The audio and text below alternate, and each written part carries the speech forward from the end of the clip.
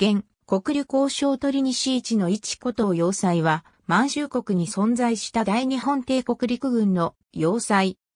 国境を接するソビエト連邦からの満州防衛を目的とする関東軍の主要拠点の一つであり、また東西約 10km、南北約 4km を誇る本要塞は、ウスリーガー対岸のソ連領イマンを見渡せる高地を抱えており、長大な満祖国境において唯一シベリア鉄道を視認できる戦略拠点であった。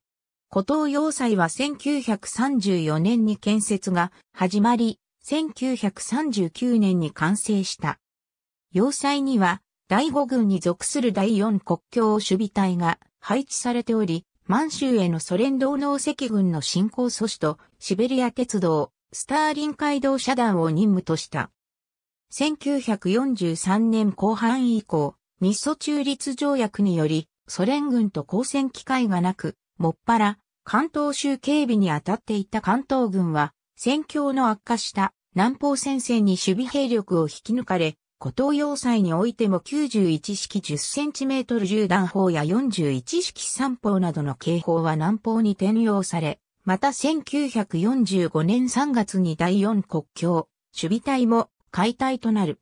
その後一時は臨時国境守備隊のみの状態となるが、対祖戦を警戒していたことにより軍備は増強され、7月に総員約1400人の第15国境守備隊が再配置された。なお、本要塞以外にも帝国陸軍には多数の国境要塞が存在していたが、古東要塞はその戦略的価値から最重要要塞の一つとされていた。1941年、帝国陸軍の関東軍特殊演習並びに要塞建設に刺激されたソ連は、本要塞の下方の射程圏内にあると思われた、ウスリー川対岸のシベリア鉄道、イマン鉄橋を国境より 15km 迂回させた。シベリア鉄道が迂回されたことを危惧した帝国陸軍は、1920年代に開発され、そのあまりの大きさと運用コストのため日本国内で事実上放置されていた姿勢 41cm 銃弾砲の配備を決定した。同年10月に輸送が開始され、翌1942年3月に配備が完了している。また、元は東京湾防備のため富津射撃場に配備されていた最大射程 50km を誇る90式 24cm 列車カノンも上述の理由のため改め機を経て姿勢 41cm 銃弾砲の移動と同時に本要塞に配備されている。古東要塞の主要火砲は、帝国陸軍のみならず、陸海軍において屈指の威力内視聴射程を誇る、戦術の姿勢 41cm 銃弾砲及び90式 24cm 列車カノンを筆頭に既存要塞砲であった7年式 30cm 超榴弾砲45式 24cm 銃弾砲10カノンたる96式 15cm カノン、45式 15cm カノンの大口径長、射程銃砲であった。1945年8月8日のソ連対日、宣戦布告及び8月9日未明の侵攻開始により、古東要塞の第15国境を守備隊と侵攻してきたソ連軍の間で戦闘が勃発。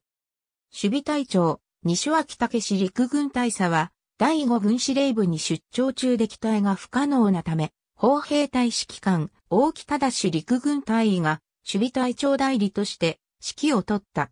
周辺地域から多数の在留民間法人も要塞に避難し、計約1800人が籠城することになった。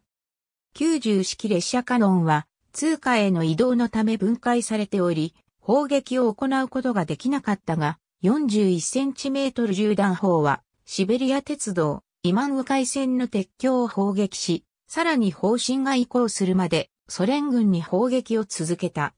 守備隊は絶望的な状況の中、8月15日に玉音放送を聞いたが謀略とみなす。